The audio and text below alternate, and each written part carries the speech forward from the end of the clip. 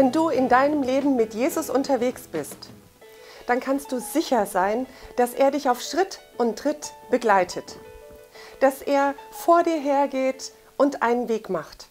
Und dass er dich begleitet durch jede Wegstrecke, die du gehst. Das ist uns relativ einleuchtend und wir sind froh darüber, wenn wir Wegstrecken gehen, die einfach sind. Die Sonne scheint, die Straße ist gerade, du weißt genau, wo du hingehst und es fällt dir leicht, mit Jesus durch diese Zeit zu gehen. Nun gibt es aber Zeiten in unserem Leben, wo wir da nicht so ganz sicher sind. Unser Weg wird etwas begrenzt, etwas schmal, dunkel. Und auf einmal wissen wir nicht mehr so richtig, wo ist denn eigentlich das Ziel? Es wird schwieriger, Schritt für Schritt voranzugehen. Und dein Gefühl sagt dir, wo ist denn Jesus? Ich fühle ihn nicht. Ich merke gar nichts davon, dass er da ist.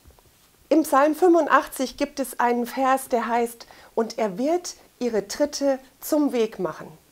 Das spricht davon, dass Gott uns eine Verheißung gibt, dass überall, wohin wir gehen, er jeden Schritt zu einem Weg macht.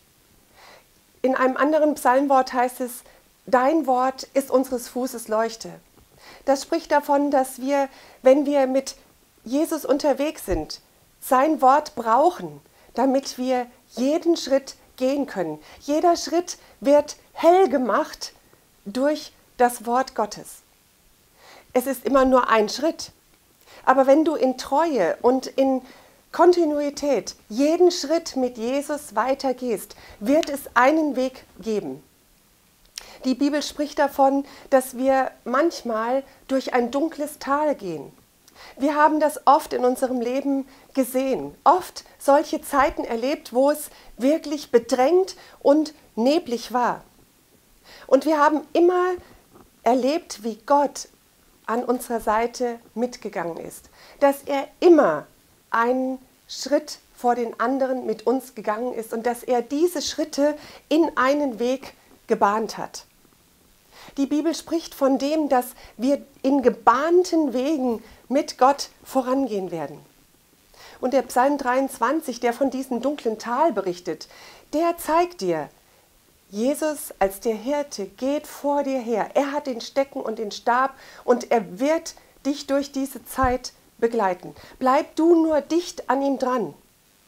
Bleib dicht mit Gott verbunden. Schau, wo Jesus geht, wo er sich bewegt, da ist der Weg sicher. Nimm das Wort Gottes, lese darin, nimm es ganz persönlich, persönliche Verheißungen für dich auf deinen Lebensweg mit. Und du kannst sicher sein, Gott hat mehr für dich.